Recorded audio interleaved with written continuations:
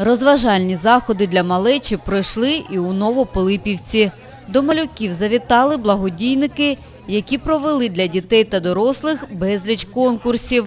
Новопилипівський сільський голова Віктор Федорченко подякував організаторам та побажав дітям веселого свята.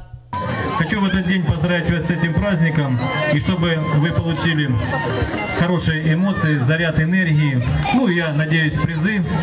С праздником, веселитесь. Разом із розважальними заходами проходила виставка кішок.